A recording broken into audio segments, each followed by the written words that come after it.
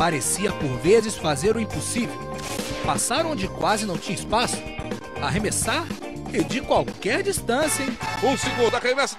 E aí, curtiu essa jogada? Show, né? Então olha só, eu preparei cinco top plays de quando eu joguei na WNBA nos Estados Unidos pra você. Curte aí!